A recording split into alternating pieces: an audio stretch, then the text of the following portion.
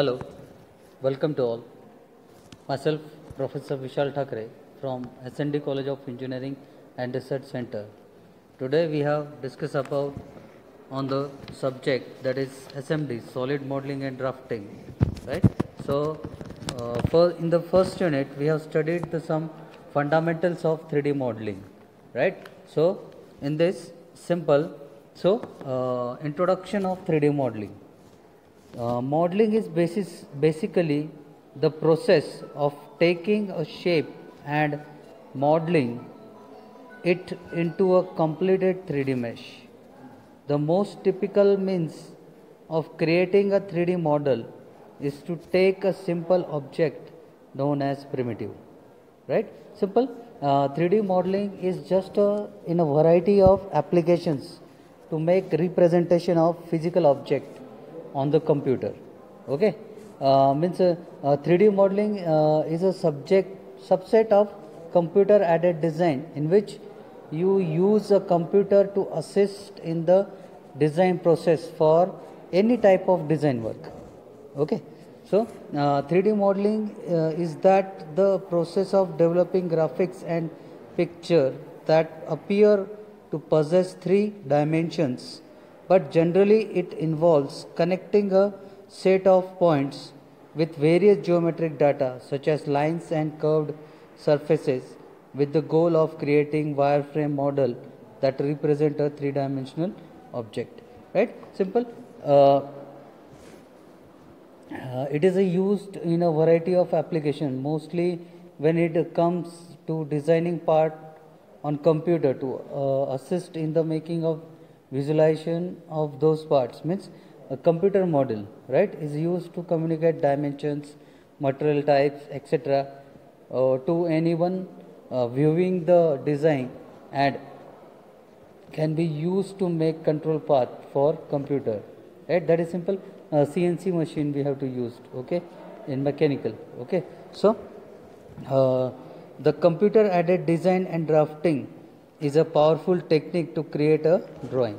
Okay? So in this uh, simple uh, cad the cad is a simple uh, very uh, powerful technique to create a design right? Means uh, simple 3d modeling in general makes the product design process more efficient. Okay? In this modeling pro program allows you to create and visualize final product. Okay? Or modify and optimize the designs any document design or measurement and uh, material easily you have to uh, build or visualize okay? So uh, designers typically use one of the uh, four more modeling methods namely polygonal primitives non-uniform rational b-spline or patches right? Uh, then next topic is product life cycle so simple uh, product life cycle uh, easily uh, is defined as the change in sales volume. Change the change in sales volume of a specific product offered by an or organization over the expected life of the product right? So uh, simple uh, in any kind of or uh, the change of in sales volume of a specific product offered by an organization over the expected life of the product. That is a product life cycle. So uh, we have a uh, simple example. We have a uh, life cycle. We we are born we grow we mature and finally we pass away right? So that is simple our uh, product uh, our life cycle right? And product life cycle there uh, similarly product also have a uh, life cycle. From their introduction to decline they progresses they progresses through a sequence of stages different types of stages right?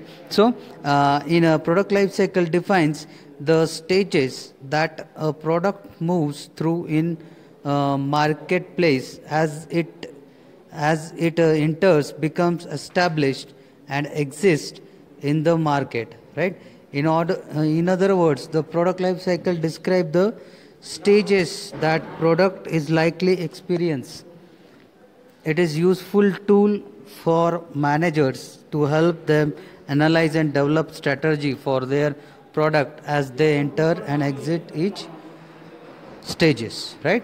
So, uh, uh, the major stages in the product life cycle are uh, introduction, growth, maturity, and decline. So, these are the uh, stages in product life cycle, right? So, product life cycle describe transition of product from its development to decline, right?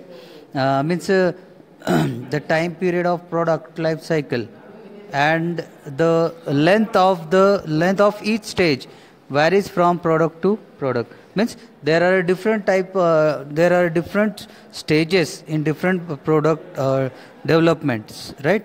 Or uh, stages in uh, various uh, products right? So a life cycle of one product can be over in few months and uh, of another product may be last for many years right? There is a different product product life cycle stages or varies from product to product right? So uh, uh, when one product one product uh, is over in a few months right? But another product may last in last of for many years right? One product reach to maturity in years and another can reach in few months right? So that is a simple way. One product is uh, uh, easily reach to maturity and one product is many years to reach to maturity right? So uh, one product stays at the maturity for years and another just a few months hence, hence it is true to say that uh, length of each stage varies from product to product right? So in this uh, product life cycle is uh, associated with variations in the marketing situation level of competition, product demands, consumer understanding, etc. Thus, marketing managers have to change the marketing strategy and the uh, and the marketing mix accordingly right so uh, this strategy is very useful to the managers because uh, it is very useful for managers to help them analyze and uh, develop strategy to their product as they enters and exit each stage okay? Uh, so there is an end of our lecture. Next time we have studied another topic